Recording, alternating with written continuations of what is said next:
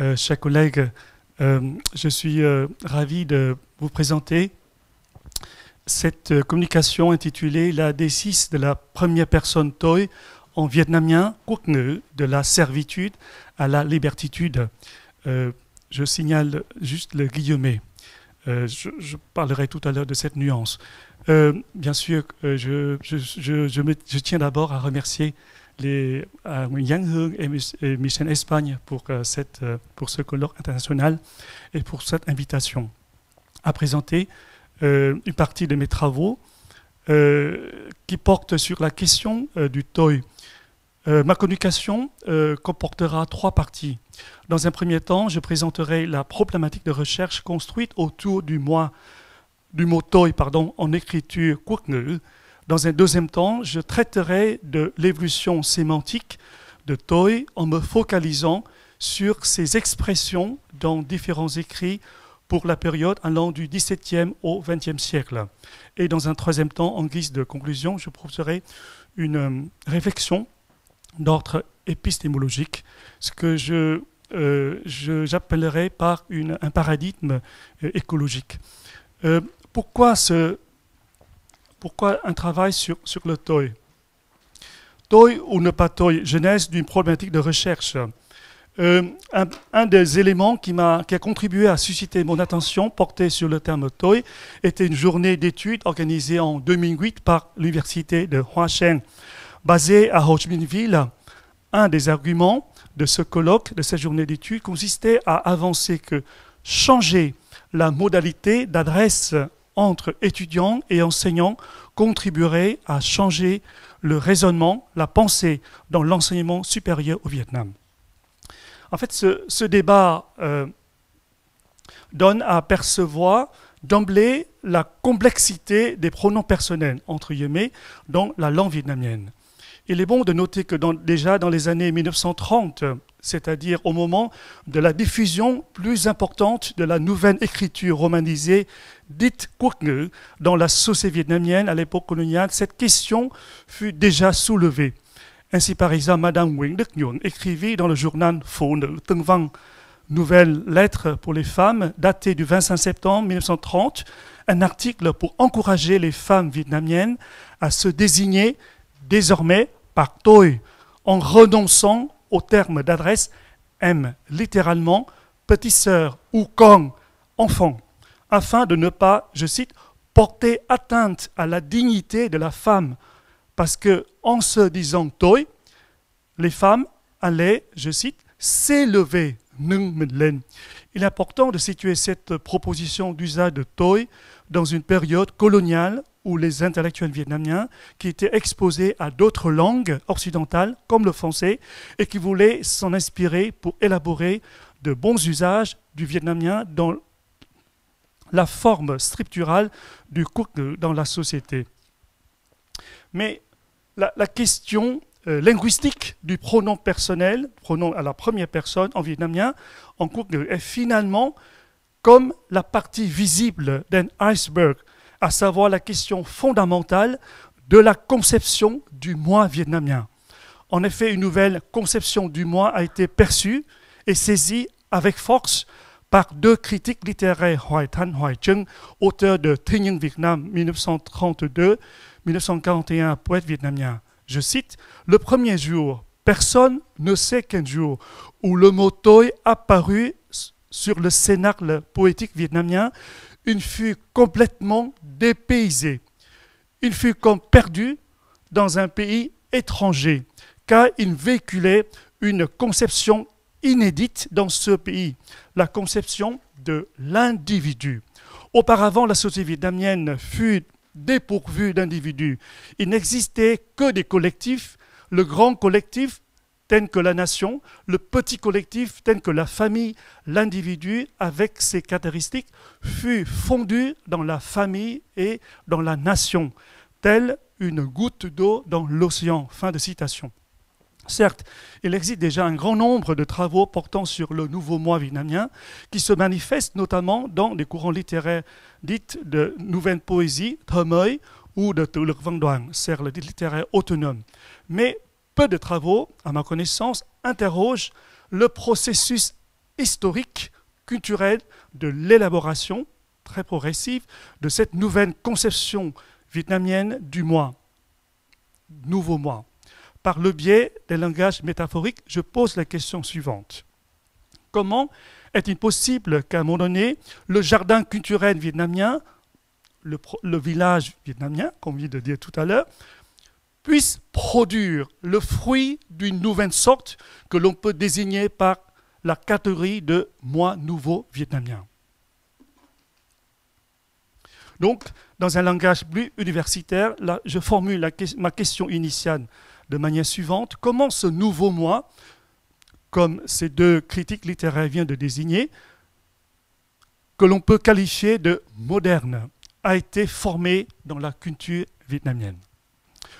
Pour construire ma problématique de recherche, je m'appuie euh, sur les différentes approches théoriques suivantes. Approche de l'anthropologie culturelle de l'écriture par Jacques Goudy. Euh, je précise en, faisant une, confession publique que je ne suis pas du tout un anthropologue. Donc euh, je, suis un intrus parmi vous et, je, pars en tant qu'infocomiste. Euh, mais en même temps, comme tout bon infocomiste, nous, essayons de, de, faire des, des, emprunts conceptuels qui viennent différents sciences, disciplines qui euh, ont existé bien avant la naissance de ma discipline en 1975 en France. Donc, euh, il s'agit ici d'examiner les implications culturelles de l'écriture conçue comme, je cite l'expression chère à Goody, une technologie de l'intellect. Deuxième approche philosophique sur lequel je m'appuie pour élaborer ma propre recherche, ça vient euh, du, philosophe euh, canadien Charles Taylor, qui articule le moi et le bien, la question d'identité et la dimension éthique. Et si cette approche me permet de mettre en vis-à-vis, d'une part, le moi traditionnel vietnamien et l'éthique traditionnelle, euh, qu'on peut dire qu'elle est façonnée grandement dans le Tam Giao, euh, bien sûr, en interaction avec la culture euh, indigène vietnamienne, et d'autre part, le moi moderne vietnamien et l'éthique, entre guillemets, occidentale, euh, gréco-judéo-chrétienne. Apprendre, troisième approche qui nourrit ma réflexion en termes d'ancrage théorique, c'est l'approche de la trivialité, telle qu'elle a conçue par euh, Yves Gendré, qui propose, je cite, de se représenter la circulation des idées et des objets comme une sorte de cheminement des êtres culturels à travers les carrefours de la vie sociale. C'est l'idée de trivium en latin, le carrefour de trois voies. Ainsi, le mot moderne, pardon, le mot moderne vietnamien est considéré comme un être culturel, fruit du processus d'une circulation créative et d'une configuration historique, dynamique, qui implique des dispositifs, des pratiques, des acteurs. Cette approche rejoint, à mon sens, ce que Michel Espagne désigne par l'idée de transfert culturel, que j'ai découvert récemment. Cela m'amène à formuler trois hypothèses de recherche suivantes. Hypothèse 1. La formulation du nouveau moi vietnamien se cristallise, mais sans s'y réduire, dans l'avènement de la d'existe de première personne toi.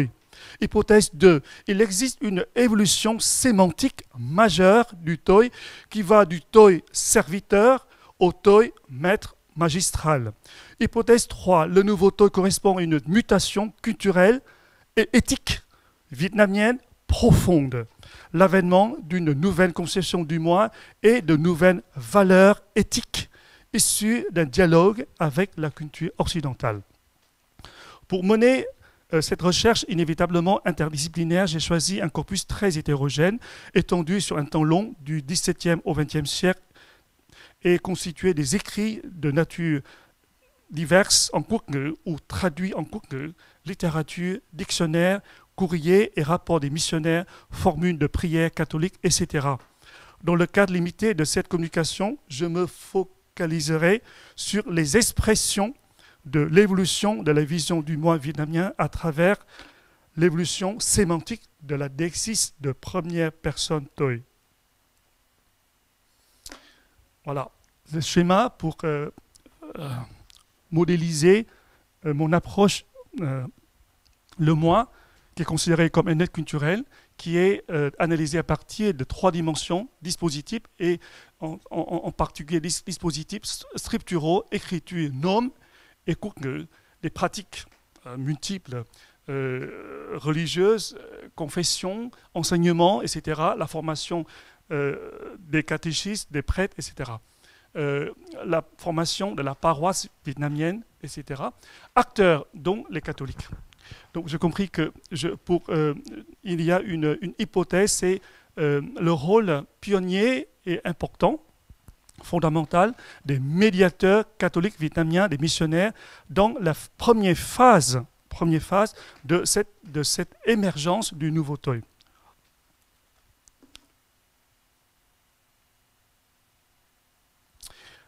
Je passe à la deuxième partie, évolution sémantique de Voici le chemin d'évolution sémantique du Toy. On repère d'abord au XVIIe siècle un lexème, un mot plein Toy qui désigne, qui signifiait serviteur par rapport au maître ou euh, domestique ou bien sujet par rapport au roi. Et puis, euh, on, repère euh, déjà au XVIIe siècle cette grammaticalisation du mot Toy plein pour le transformer en dexis personnel. Mais ici, le, le, je euh, comportait la connotation modestie de serviteur. Et puis, euh, progressivement, ce, ce toi, ce toi serviteur va se transformer en toi déicis personnel, mais avec la connotation euh, du sujet moderne. On appelle libertitude. On peut parler aussi de ipséitude, etc. Euh, c'est toutes les, idées qui ont été forgées au fur et à mesure dans la nouvelle conception du moi vietnamien. Pour devenir à la fin, aujourd'hui, on constate que le, on dit Kaitoi, le moi. C'est euh, ici euh, le, professeur euh, Doen Winville va nous expliquer très clairement cette transformation, comment le, le mot grammatical redevient un autre mot, pardon, un mot plein redevient un autre mot grammatical. Euh, et, puis, et puis encore une autre transformation. Kaitoi devient un autre mot plein pour dire le moi. Euh, très rapidement, euh, je vous donne quelques, et puis je laisserai la, place après aux, questions.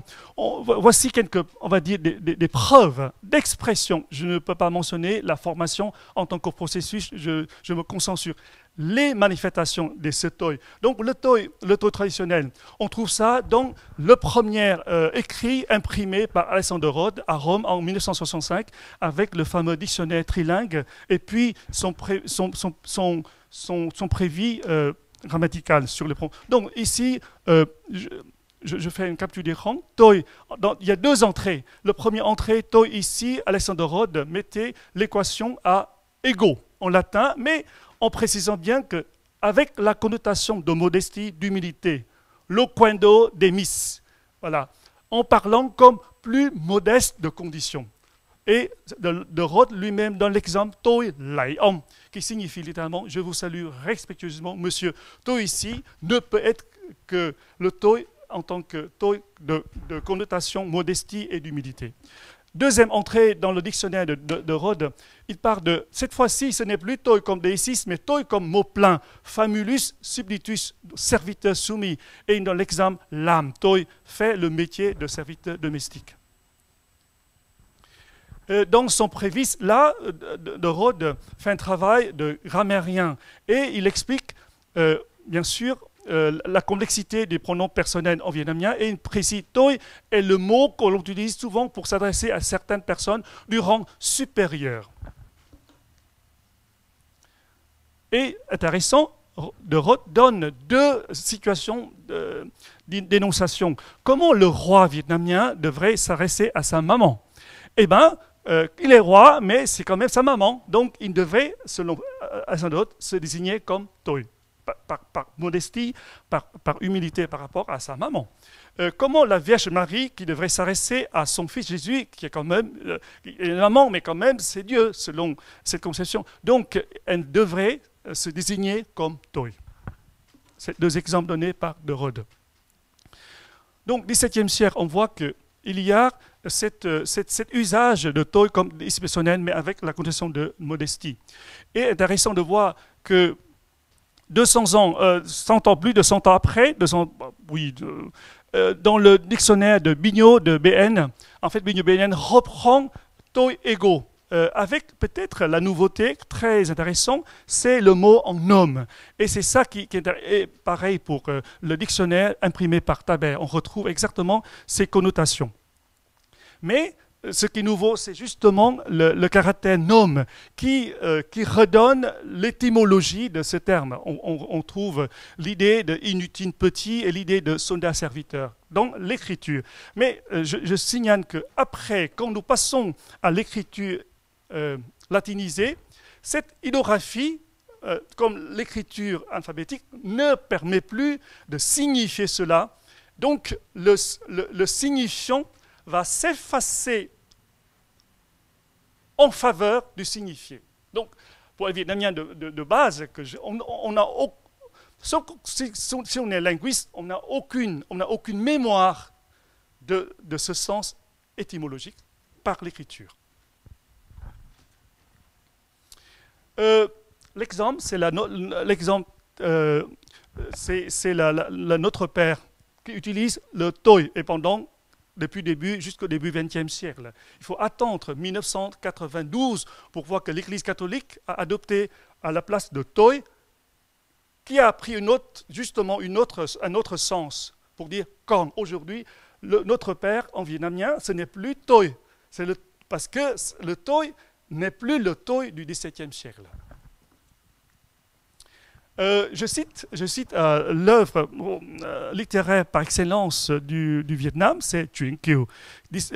Truyện Kiều, parle de Toi, et je, cite, et j'ai vu que certains auteurs vietnamiens se félicitent que Nguyen Du était, très, très révolutionnaire en faisant dire à, à, à, à avec un toy, euh, un toy euh, on va dire, autonome, euh, moderne, etc., je, je pense que l'interprétation est tout à fait euh, discutable. Par exemple, euh, je, cite ici, rằng tôi chúc phụng đàn bà nước non lìa cửa lìa nhà đến đây bây giờ sống chết ở tay thân này đã đến thế này thì thôi nhưng tôi có xá chi tôi phận tôi đành vậy vốn người để đâu uh, le contexte devrait nous, ici, euh, euh en fait, se lamente de son sort. Et donc, il, se trouve face à, à Touba, qu'il a maîtrisé en lui donnant des, des, des, des fouets. Euh, donc, là, euh, est, humilié corporellement, et donc, c'est difficilement soutenable de penser qu'ici, le toy, c'est le toy autonome, mais c'est plutôt encore le toy de serviteur qui s'adresse à quelqu'un qui a du pouvoir. Euh, en l'occurrence. Je, c'est la première époque. Deuxième époque, c'est, euh, je passe à l'époque transition. Et pour cela, c'est à partir du 7e siècle, progressivement, on, voit émerger une nouvelle conception du moi. Et je vous donne un exemple, deux exemples. Euh, une, un courrier écrit par un prêtre vietnamien, un des premiers prêtres ordonnés, et il s'adressait à, son supérieur, Père Gabriel de la Vigne. Et voici l'écrit en vietnamien. Tôi là Domingo Hảo, gửi lời kính lạy thầy cả Gabriel. Donc je suis Dominique Hảo, je vous salue avec respect. Et il finit la lettre, tôi là Domingo Van tôi thầy. Bien sûr, dans le contexte, on peut encore interpréter que c'est encore le toi de serviteur, de modestie. Mais par contre, ce qui est intéressant, c'est déjà cette pratique épistolaire introduite euh, très progressivement un, certain sens de l'identité individuelle. Et donc, euh, intéressant de voir aujourd'hui les Vietnamiens qui se présentent, Tôi là Hoàng Anh Ngọc. Exactement dans, dans, ordre-là. C'est euh, l'écriture du XVIIe siècle. Et intéressant, encore du XVIIe siècle, on voit une lettre d'accusation des, laïcs en, toujours en Et c'est là qu'on reprend les, fidèles vietnamiens écrivaient aussi en, vietnamien là, je suis Samon, et donc c'est une lettre d'accusation euh, avec, euh, euh, signature. Ici, le, contexte d'énonciation fait penser que ici, il y a une, les, les, fidèles assumaient pleinement leur identité parce qu'il s'agit d'assumer une responsabilité d'accuser quelqu'un. Ici, on reprend l'idée, de, on, voit l'idée de, romaine, très chère aux Romains, de la personne, de persona, mais avec l'idée juridique de responsabilité et bien sûr aussi de volonté chère aux, aux stoïciens. Euh, encore dans cette période de transition, c'est les, les, œuvres en cours de Philippe Feben, euh, quelqu'un qui a vécu 37 ans euh, en exilé à Lisbonne. Et ben a écrit 27, 27 ouvrages en Kookngul. Et George Dutton va dire que le Kookngul, c'est cette écriture de foi que, que, Philippe Feben, en exilé, voulait transmettre à sa communauté euh, de Hayu. Donc, on voit dans l'écriture en Kookngul de Philippe une expression chrétienne du moi moderne euh, par exemple, systématiquement au début du texte, Philippe écrivait Je suis le prêtre qui écrit ce livre pour infini on peut, voilà, je suis le prêtre qui a écrit ce livre dans la capitale du Portugal, etc. On peut poser la question. Et puis, euh, euh, pourquoi euh, ici l'auteur, en tant que prêtre exilé, un des premiers Vietnamiens en Occident, a pris le soin d'affirmer son autorialité, son, son, son statut d'auteur. D'ailleurs, il cite, il est de coutume dans euh, la préface du livre d'or, son premier livre, il est coutume dans le monde que toute personne qui fait un livre doit y marquer son nom afin que les gens sachent qui est l'auteur. Peut-être c'est son expérience à Lisbonne qui, lui a permis de dire des choses pareilles. Si l'on fait un livre sans mettre son nom dessus, alors on est malhonnête. Donc, je choisis d'écrire mon nom dans ce livre que je fais. Je suis le prêtre ben, qui a écrit ce livre pour le dédier au vertueux Seigneur, etc. Donc, la volonté d'affirmer son statut d'auteur la fonction auteur, comme parlait Roger Chartier ou Michel Foucault, son sens aigu de son identité individuelle en tant qu'un moi singulier. Euh, donc, le Toy dans les écrits de Philippe Eben au XIXe siècle fonctionne déjà comme une auto-référence autonome. Euh, le linguiste Guy va parler d'un moi face à l'univers. Quand Ben écrivait, il est conscient qu'il écrit pour tout public. Donc il n'y a pas de rang. qui ne s'adresse pas à ses supérieurs. Donc ce n'est pas un toy de, modestie. Euh, donc je parle d'une nouvelle égographie qui est déjà introduite dans, cette œuvre. Donc, ici, le cours est devenu, à mon sens, une technologie de l'intellect pour Philippe Eben et pour d'autres Vietnamiens chrétiens en tant que médiateurs. Et je passe à la dernière, ce que j'appelle le moment égophanique, c'est pas seulement l'écriture de soi, mais c'est cette manifestation de soi. Euh, et peut-être cette première manifestation attestée se trouve dans l'histoire de Lazaro Fing, écrit en 1887 par Nguyễn Trọng, par.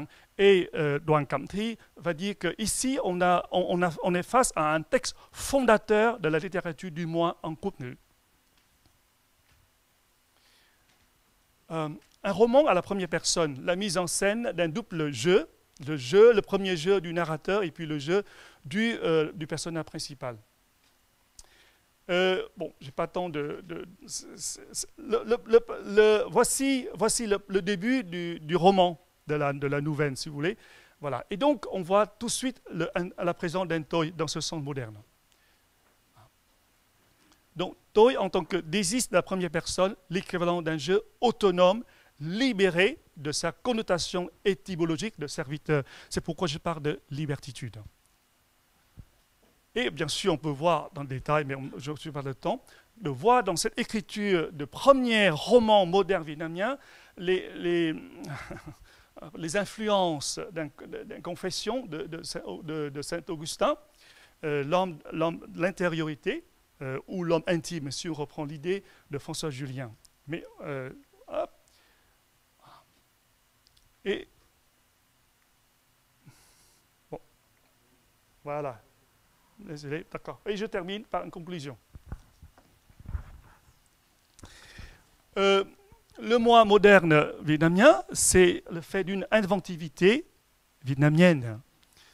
Qu'on vient de voir dans d'autres domaines. Il ne s'agit pas d'une importation mécanique voilà, avec des médiations multiples, médiations linguistiques, invention de l'écriture romanisée, réappropriation de l'écriture nom, médiation littéraire, invention de genres littéraires comme le tuing, recours aux genres populaires, médiation culturelle, invention des figures de catéchistes indigènes, invention de la forme, paroisse, etc.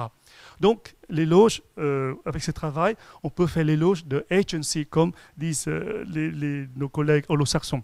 Cette capacité d'agir sur son destin, hein, comment le peuple vietnamien s'approprie euh, se réapproprie des idées, des objets pour agir sur le destin. Réflexion épistémologique. Donc, je cite, est-ce que le Vietnam comme Histoire de transfert culturel, Michel Espagne. Euh, l'idée de Wilcox, il faut qu'on parle de co-figuration entre Vietnam et l'Ouest, et non pas seulement occidentalisation ou bien l'autonomie. Et puis, approche de l'an de l'écart de François Julien. Et puis enfin, euh, l'idée de relier le relier cher à euh, Michel Serre. Voilà, je vous remercie de votre attention. Merci, euh, M. Vinh, pour euh, votre intervention très, riche et très animée. Euh. J'aimerais, j'aimerais bien votre euh, idée sur euh, le transfert euh, du, du, moi tôi euh, depuis la servitude jusqu'à la libération. Et je veux, à propos, je veux ajouter à votre copiste un petit détail que en fait, voilà, au Vietnam, dans les campagnes, parfois, même, même jusqu'à maintenant, il, il y a quelques régions où les paysans euh, peuvent se nommer tôi en face de, de leur père ou même de, de, de, de leur vieux, euh, des, gens plus, plus vieux. Euh, je pense que dans ce cas-là, euh, le tôi, ce n'est pas vraiment euh, qui concerne la hiérarchie fam familiale. Donc, je pense que c'est aussi euh, une suggestion de ma part à la à l'écoute de votre intervention très, très, très riche très intéressant. Et donc uh, xin phép xin phép anh Kiên để em dịch ngắn gọn rồi anh Kiên sẽ giới thiệu người thuyết trình tiếp theo được không ạ? Vâng. Vâng, tôi xin uh, thuyết, uh, ờ, dịch rất là ngắn gọn thôi. Thì là bài của anh uh, um, anh Hoàng Anh ngọc thì uh, đã nhấn mạnh cái vấn đề uh, cái vấn đề đại đại từ diện nhân xưng tôi uh, ở cái thân phận tôi đòi hay là tự do. Và um, anh có uh, nêu ra những cái vấn nêu ra những cái cái vấn đề và các cái cơ sở lý thuyết. Uh, thì uh, về về mặt nội dung thì anh tóm tắt cái tiến trình phát triển của cái yếu tố tôi từ một cái một cái từ tố là tôi. Uh, tức là tôi tớ tôi đòi uh, thành một cái đại từ nhân xưng tôi tôi và à, cho đến cái ờ, cái cái cái yếu tố trong cái tôi ờ, để thể hiện sự tự do. Ờ, thì anh có lược qua cái lịch sử của vấn đề của cái chữ tôi từ cái thời kỳ phong kiến cho đến thời kỳ chữ quốc ngữ khi mà nó dấy lên cái khẳng định cái chữ chữ tôi trong cái sự tồn tại của, nghĩa là trong cái vị thế của phụ nữ cũng như là cái tôi trong văn học. Và anh trong một số các cái tác phẩm của Hoài Thanh, Hoài Trân cũng như là các cái tác phẩm tiêu biểu ở, của, trong cái um, trong cái uh, gọi là dòng văn học mà thơ ờ, thơ mới uh, và tự lực văn đoàn. Uh, và uh, để uh, đi sâu về nghiên cứu uh, cái uh, các cái cái um, đại từ nhân xưng tôi thì anh bắt đầu uh, uh, bằng một số cái uh, từ cuốn từ điển uh, cơ bản uh, của uh, ngôn ngữ Việt Nam ví dụ như là từ điển Alexander Roth thì đã uh, uh, định nghĩa cái ờ, yếu tố tôi ờ, với ờ, với vai trò là một cái đại từ nhân xưng để thể hiện sự khiêm nhường khúm núm. Và ví dụ như là ngay kể cả vua là là vua một nước, nhưng mà khi mà vua xưng với mẹ thì cũng là vua xưng với mẹ là tôi. Hay và một cái nghĩa khác nữa là tôi là làm tôi, có nghĩa là người hầu. Ví dụ như và một cái từ là cụ thể anh dẫn chứng một cái từ từ điển thứ hai là từ điển bn thì có cả cái yếu tố chữ tôi viết bằng chữ nôm. Thì trong cái chữ nôm thì có các cái yếu tố nghĩa được uh, thể hiện uh, bằng uh, ở ở ở trong chữ nôm. Thì nó có cái chữ thạch là vô uh, là uh, có nghĩa là vô dụng nhỏ. nhỏ bé vâng. Uh, và cái yếu tố tốt có nghĩa là lính hay là đầy tớ để thể hiện uh, uh, càng là cái minh họa rõ nét hơn cái yếu tố tôi như là một cái sự khúm núm khiêm nhường. Uh, sau đó thì anh đã um, lấy ví dụ uh, nhiều nhiều ví dụ ở trong nhiều cái uh, văn bản và các cái tác phẩm văn học khác nhau. Đó là cái giai đoạn trước uh, thế kỷ thứ 17 sau đó là giai đoạn chuyển chuyển giao từ thế kỷ thứ 17 đến thế kỷ thứ 19 um, thì uh, uh, tôi cũng được sử dụng trong một số các cái thư từ uh, của các cha xứ và vẫn với một, một cái vai trò là tôi khiêm tốn hoặc là trong thư tố cáo như là tôi để thể hiện cái uh, uh, cái vai trò là cái người người đứng ra tố cáo. Và trong uh, một số các tác phẩm quốc ngữ thì tôi ví dụ như là tác các tác phẩm của cha Philip Bình thì là à, tôi là, là cha dùng cái cái tôi cái đại từ nhân nhân xưng tôi để khẳng định cái vai trò là tác giả chứ không phải còn không còn là cái tôi khiêm nhường nữa. Và đến cái thời đại thời kỳ hiện đại đó thì có thể là gọi là một cái thời thời đại của cái tôi ạ thì uh, cái uh, chữ tôi được thể hiện như là một cái tôi cái tôi uh, ví dụ như là trong chuyện thầy Lazaro phiền thì đây là cái tải tiểu thuyết đầu tiên uh, được uh, viết ở ngôi thứ nhất uh, để khẳng định cái tôi tức là cái cái cá nhân cái tôi cá nhân ạ. Vâng uh, đấy là cái phần uh, dịch ngắn gọn. Xin mời anh uh, Kiên uh, giới thiệu uh, người uh, thuyết trình thứ hai ạ.